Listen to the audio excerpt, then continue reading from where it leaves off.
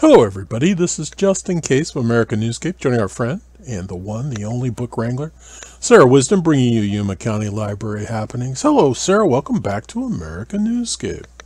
Thank you. Did you have a nice Thanksgiving?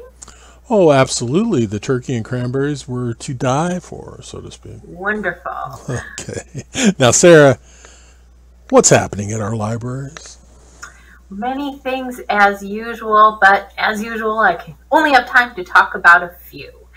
So, we want to mention Will It Float? This is a STEM science, technology, engineering, and math related program that's taking place at our Foothills Library this Saturday, the 25th. And we are inviting ages 6 to 12 to design a boat and test it out with a series of challenges and games to see if it floats, how fast it goes, and all that fun stuff that you can do with boats.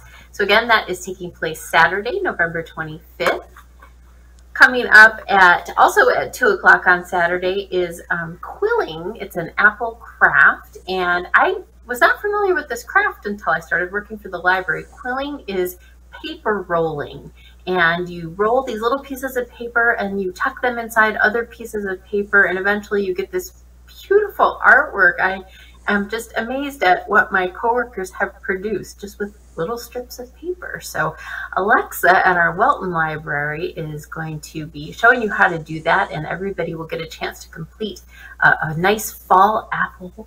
And um, I think you're going to want to hang it on your fridge. It is, it is fridge worthy artwork. It's very beautiful. Last but not least, happening at our main library on Saturday, they are inviting kids to come and make nature picture frames. So we are going to have a collection of different things that you can find in the desert southwest leaves and sticks and all kinds of things just gathered from local uh, sources. And you'll have a chance to make a nature frame. Might make a nice Christmas present for a parent or a grandparent. One never knows. So, again, those are just a few of the things happening at our libraries. For more information, you can visit us online at yumalibrary.org or you can download our free app. How cool is that? Leave it to the library to help us prepare for Christmas with programs. And I assume that Alexa would be a quilling master. Yes. Alexa and our Alexa. All right, very good. Hey, everybody, this has been Justin Case and Sarah Wisdom bringing you Yuma County Library happenings. Thanks for joining us. Remember, additional information and links to provide in this video is read more. Today is the day to subscribe to this channel. Please support reading, readers, book wranglers, libraries, and librarians everywhere.